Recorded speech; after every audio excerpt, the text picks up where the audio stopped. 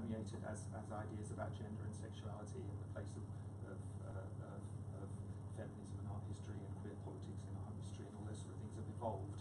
Um, and that um, these kind of this kind of title to me in it, uh, as I ended the or approached the end of the arc of this research and finding a reference in a Deakin letter to his drag pics with an X on the end, his drag pics, that he was referring to these. Um, um, they moved from this this imposed identity really as men uh, into identities as that fact that they're all women. I found out the names of them all. They, these are women who are somehow look like they're performing um, as men in drag or performing men being in drag, which is just such a weird route uh, to go through, uh, and I think kind of kind of really radical. Uh, and so for Deakin to, to be in that sort of uh, that sort of the, you know cutting edge world of, of all these issues around you know around around these trans rights and all those kind of things um, is, is interesting and it's, it, it started really by the image on that one being suggested by to me that this might be Francis Bacon uh, in drag. Uh, uh, I know this would belie the fact of the, of the convincing cleavage, um, and so getting quite deeply into into ideas of, of how you know if, I don't know if anybody watches RuPaul's Drag Race. If I could drop in a, a, a, a reference outside the kind of the usual milieu, but um, yeah, faking in cleavage is not that complicated and, and it probably has been going on as long as men have been dressing up in drag. So I didn't see that as a barrier to that, that being Bacon, whereas other people were, were, uh, were telling me it couldn't be. Um, um, so it was, actually trying to investigate why uh, or how you find out if a face is who you think it might be that took me into kind of really esoteric levels of facial recognition software and forensic facial analysis uh, and spending a lot of time actually probably wanting it to be Francis Bacon, so channeling my, channeling my, you know, unconsciously channeling my research that way and getting down, getting, getting stuck into all sorts of uh, really uh, crazy levels. The one on the right there is this uh, Bacon's best friend, Denis Wirth-Miller, and the fact that in um, uh, facial recognition software we had a positive for that and, and then using a human who's called, a, uh, as I said, a forensic facial analysis expert, um, he also gave a positive to that, um, which brought it close to supposing, well, if that's him, then that like or possibility that that's Bacon, you know, gets very close. Um, here, uh, it's in, there's a screenshot. It, I thought it was going to be the, video, but it's. It's a screenshot of this forensic facial software that I spent ages learning. They gave me, persuaded them to give me a free version of it. Um, uh, so in the end, I would. Uh, uh, oh, it is. It is the video. Don't know if that's.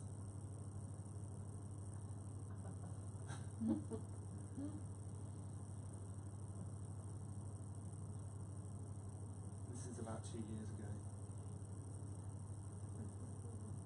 And so once once I got quite close to thinking, well, it could be Bacon the, show was still up at the, at the, Photographers Gallery, and so I was talking to the curator there and, and, the director there, and they, they agreed it was really interesting. And then we went through a process of relabeling some of the photographs and saying it's possible that this is Francis Bacon and his friends in drag. So we went through that whole process, which was very uh, you know amazing of them to do that. Uh, I, I, called the Guardian, and they ran a story on it saying CIA software discovers Francis Bacon drag. Uh, because this, this software is, is, is sometimes used by law enforcement agencies in America to kind of like, uh, you know, check things out.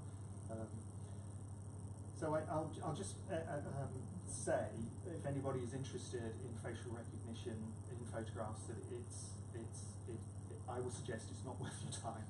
Um, and that uh, if ever you hear a news story about facial recognition, it, it's likely to be so unreliable that, that uh, people are not really it's not going anywhere very soon because the minute movements of moving your face can take a million different measurements into a million different uh, varieties of putting it towards um, a positive and it's just so unreliable um, and so that's the, the, the, the, computerized version or the algorithmic version the human version that the uh, forensic facial recognition um, of, a, of, a, of, an expert, somebody who's able to stand up in court and say that CCTV, CCTV picture is that person who, who may not be accused of something, is the most reliable, but even that is, is, is extremely unreliable, and they will say this, they will say that about their own work. Uh, so it took me a, a good long while to, to arrive at the idea of searching in Tate archives through the letters of uh, Barbara Ker-Seymer and finding this woman on the left who is in, in, um, a photo album called Sammy Short. Later in the album, she's called Celia Short. So um, I think the, the, the change from Celia to Sammy there kind of underlines the fact that this was a, um, a, a, group of friends, some of whom were lesbian, some of whom went through lesbian relationships and came out and got married and had children, and then came out of those lesbian relationships and ended up uh, those, those heterosexual relationships and went back to being lesbians. This kind of like really fluid group um, were friends of Deakin, uh, uh, and were um, photographed all together by Deakin at some stage in 1939, um, apparently pretending to be men in drag. If that's what's happening, I don't know. and I was able to confirm that by some of the jewellery um, um, in our photograph is also in the photograph that's in the Tate um, of this group. Um, and then finally, that's the letter where I found uh, right at the end of this kind of like winding road a reference that, that Deakin said to his drag pics of Rose Malloy. And Rose um, Malloy is this, the, the, um, the name of this lady top. She's Rose Malloy. She married and became Rose McColl, which is why I couldn't find it, why we couldn't find her at first. Um, so, so yes, so so these photographs, that set of photographs, were very interesting at, at, at that point to queer studies um, like Dominic Janes uh, wanted to kind of use them as an example of you know, rare survival of, of men, uh, even even under these sort of like you know these dangerous times of of, uh, of illegality, were still you know enacting their their their dreams of, of uh, whatever they were doing, dressing up in drag, and, and of course that's not what they are. And so it, they came away from being super interesting to, to certain people into being not so interesting, but interesting in a way that is, I suppose, is yet to be kind of mined by um, different academics who perhaps are more interested in uh, in uh, in how funny women are when they're allowed when they're allowed to take the piss out of, out of men or something like that. I don't know. Um, so, oh, we've uh, run out of time. Cool. But just, can you can you just before we could you just say a little bit about the, the relationship to uh, um?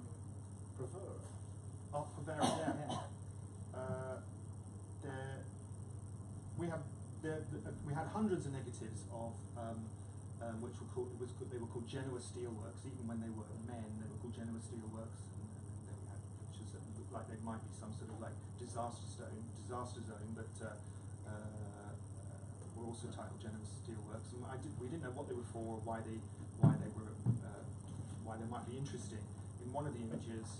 Um, uh, this gentleman stands in his room with a with a poster on the wall, and I was able to eventually isolate that poster to being the, this triennial. And the designer of that poster is, is the gentleman in it. He's called Eugenio Carmi, um, who's a who's not particularly known, uh, but is a significant figure in post-war uh, uh, artistic uh, life um, as a um, um, as a representative of a particular time in Italy in the late 50s and early 60s, where um, the confidence of the Italian economic miracle um, persuaded the kind of directors of industry to let artists play uh, in a way with their identity as, as, an, as an industrial kind of uh, behemoths and paid them um, to, to work inside the steelworks. Um, so through that identity, I was able to, to, to identify just by googling everybody that Eugenio Carmi ever had a photograph taken with, basically this gentleman, which was Flavio Costantini, and there's an archive of, of him in Italy. Uh, I contacted them, and they had a stock of letters um, written by Deakin, which had never been found, um, which are quite um, um, sensitive and important, really, into the life of Deakin, where he admits to his alcoholism. And you hear kind of like chaotic stories of him getting blindly drunk in front of Italians who I'm sure would never have quite understood the need to get so drunk in their culture. Um, um, but eventually to to discover that Deakin was there for a project set up by Eugenio Carmi and directed by Flavio Costantini um, to photograph the steelworks for a book by Umberto Eco. Um, so Deakin's images are in, uh, are in this book that we didn't know about. Um, Um, and so just confirming that those images were, were Deakin took a long time.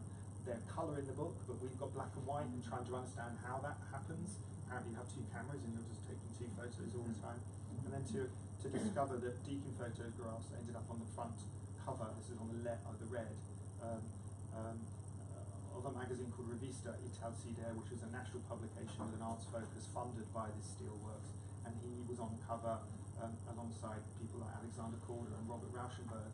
So this late um, kind of um, flowering or uh, uh, uh, uh, yeah, a, late flowering of his career was um, was was revealed. Um, but um, it took me into areas of thinking about how it is that culturally in Britain we're so chauvinistically obsessed with anything that only happens in our country and particularly at this time that somebody here, Deakin, spoke Italian and went to work there. That sort of like cross-national work is very difficult to access any interest in it because in Italy he's not core and in England it's not interesting if he's in Italy. So uh, it's, a, it's, a, it's, a, it's a challenge I'm sort of um, I'm stuck in the middle of.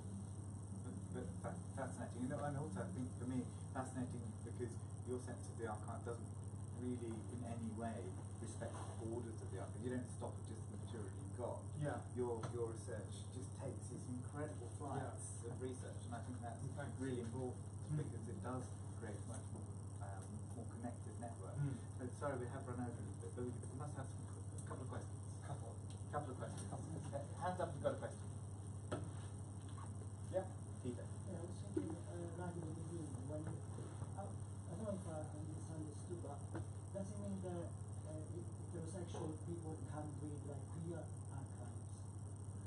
Uh, no, I mean everybody can have an inter. I would, for me, I would just instinctively think that everybody has got a right to an interpretation. But um, you perhaps can get deeper, I suppose, with an understanding of certain cultural tropes that uh, uh, when you read his letters and, and, and acquire uh, any of his camp that can be read as as as uh, you know difficult mean, but actually um, you know from my understanding of queer studies, that's that's that's a kind of like a reaction to the to, to outside pressures of, of society.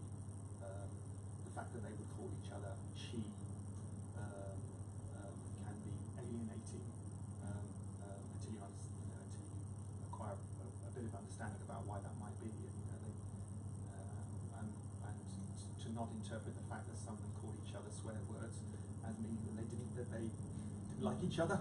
You know, that's the, uh, the concept of queer family um, um, is really important. That thing. So no, I don't. I don't mean that. I, I just mean perhaps you get a different understanding if you are able to access those meanings. Do we have any other questions?